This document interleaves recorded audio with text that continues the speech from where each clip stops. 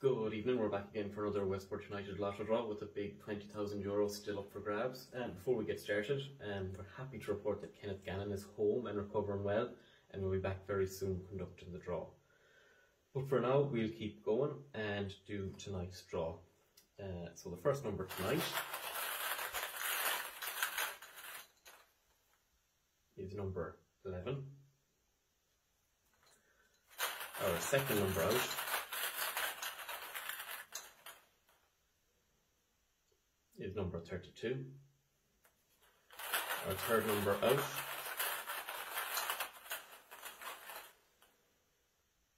is number 1. And our last number out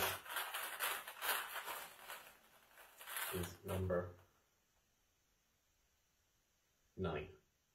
So numbers are 1, 1, 9, 11 and 32.